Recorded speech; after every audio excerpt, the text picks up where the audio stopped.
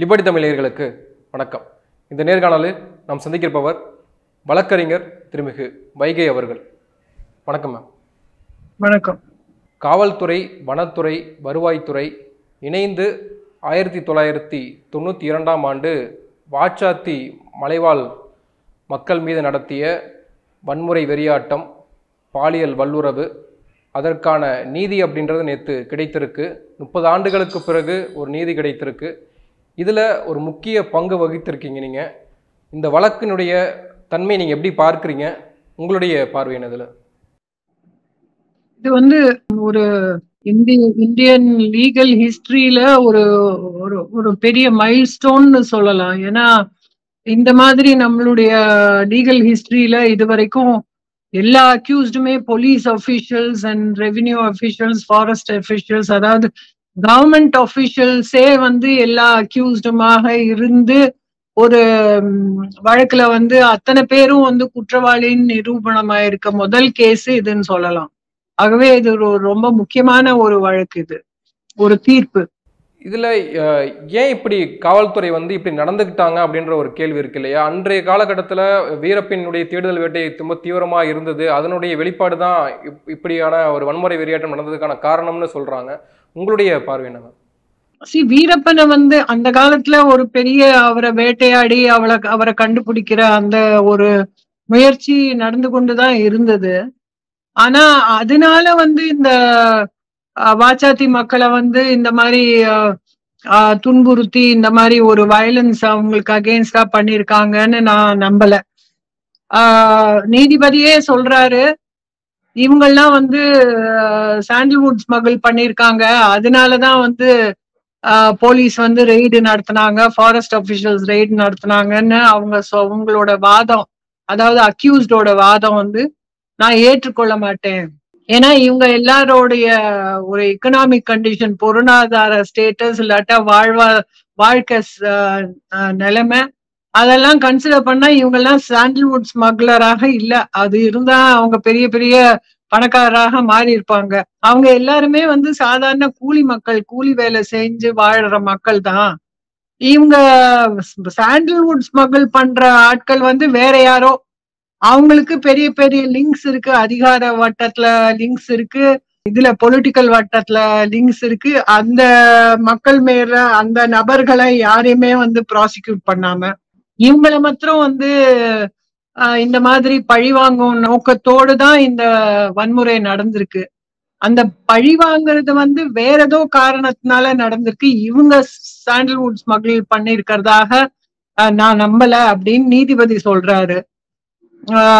எனக்கு என்ன தோன்றதுன்னா இவங்க வந்து இந்த சாண்டில்வுட் ஸ்மக்லிங்க்கு உடந்தையாக மாட்டேன்னு ஏதாவது ஒரு காலகட்டத்துல அவங்க சொல்லியிருக்கலாம்.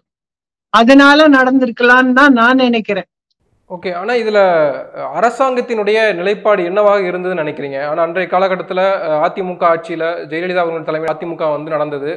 அப்போ வந்து செங்கோட்டையன் அவர்களுக்கு மறுப்பு தெரிவித்தார் இதெல்லாம் நம்ம பார்த்தோம். அரசினுடைய தன்மை அவங்களுடைய போக்கு என்னவாக இருந்ததுன்னு நினைக்கிறீங்க?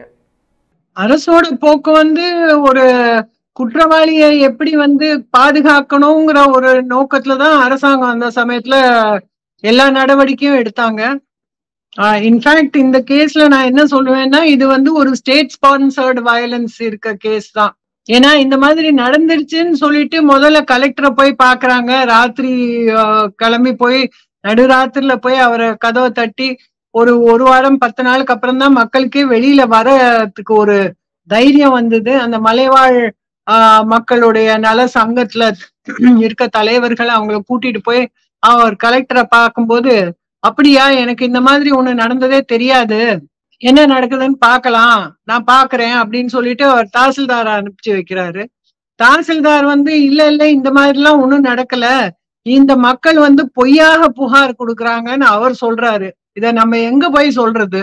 ஆகவே அதிகாரிகள் மட்டத்துல வந்து இத வந்து ஆஹ் இந்த குற்றத்தை வந்து எப்படி மறைக்கணும்னு தான் நடவடிக்கை எடுத்தாங்களே ஒழிய மக்களுக்கு வந்து எப்படி ஹெல்ப் பண்றது? அவங்களை எப்படி பாதுகாக்கிறது? அவங்களுக்கு எப்படி நிவாரணத்தை ஏற்பாடு பண்றது? அந்த மாதிரி ஒரு நடவடிக்கையும் அரசாங்க தரப்புல நடத்தல. இல்லை அந்த அரசை நடத்தியதும் ஒரு பெண் தான். அவங்க ஜெயலலிதா அவர்களும் வந்து எப்படி நடந்திருப்பாங்க அப்படின்ற ஒரு கேள்வி இருக்கு இல்லையா? ஒரு பதிமூன்று வயது சிறுமி உட்பட பதினெட்டு பெண்கள் பாலியல் வல்லுறவுக்கு உட்படுத்தப்பட்டிருக்காங்க அப்படின்ற பொழுது ஜெயலலிதா அவர்களுடைய ரியாக்ஷன் என்னவாக இருந்தது தானே அங்கே கேள்வியா இருக்கு?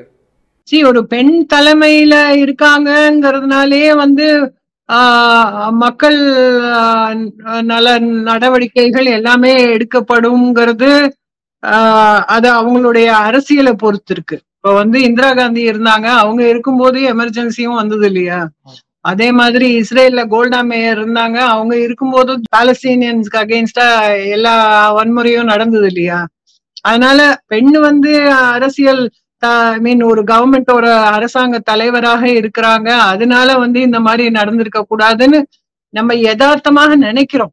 ஆனா அது வந்து இந்த வன்முறை வந்து அவங்களுடைய அரசியல் சார்ந்துதான் நடந்திருக்க வன்முறையை த- தவிர இது வந்து நம்ம அவங்க ஒரு பெண் தலைவர் அதனால வந்து இது நடக்க கூடாது அப்படின்னு நம்ம பார்க்கறது தப்பு. அவங்களுடைய அரசியல் என்னங்கிறது இதுல புரியுது.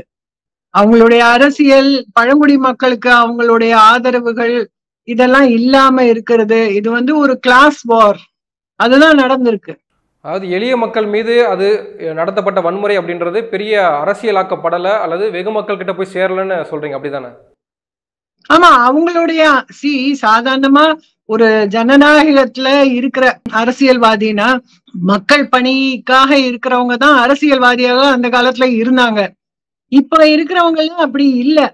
சோ அந்த அரசியல் அரசாங்க தலைவரும் அன்பார்ச்சுனேட்லி அவங்களுடைய அரசியலும் மக்கள் பணி தான் என்னுடைய பணின்னு ஒரு கண்ணோட்டத்துல இருக்கிற அரசியல் தலைவர்கள் இல்ல இப்போ அதுதான்.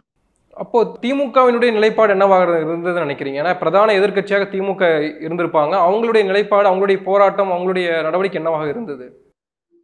அன்பார்ச்சுனேட்லி இந்த இன்சிடென்ட்ல வந்து அவங்களுடைய ஒரு கான்ட்ரிபியூஷனும் இல்ல மக்களுக்கு நிவாரணம் தேடி தேடி தருவதோ இல்ல அவங்கள வந்து பல இடத்துல ரெப்ரசன்டேஷன் கொடுத்து இல்ல கோர்ட்ல கேஸ் நடத்துறதோ அந்த கான்ட்ரிபியூஷன்லாம் ஒன்றும் இல்லை. ஏதோ ஒரு காலகட்டத்துல அவங்களுக்கு போய் ரிலீஃப் கொடுக்குறேன்னு போனாங்களே ஒழிய மத்தபடி அவங்கள அப்படியே ஒரு அந்த ஹேண்ட் ஹோல்டிங்னு சொல்லுவாங்க இல்லையா? அவங்களுக்கு ஒரு பக்க பலமாக இருந்து எல்லா வழக்கையும் நடத்தி கடைசி வரைக்கும் உங்களுக்கு வந்து நீதி தேடி நாங்க வந்து ஒரு போராடுவோம் உங்க கூட நின்றுன்னு. அந்த மாதிரி ஒரு போராட்டம் வந்து மார்க்சிஸ்ட் கட்சி தோழர்களை தவிர அகில இந்திய ஜனநாயக மாதர் சங்க தோழர்களை தவிர வேற யாருமே அந்த மாதிரி ஒரு போராட்டம் நடத்தல.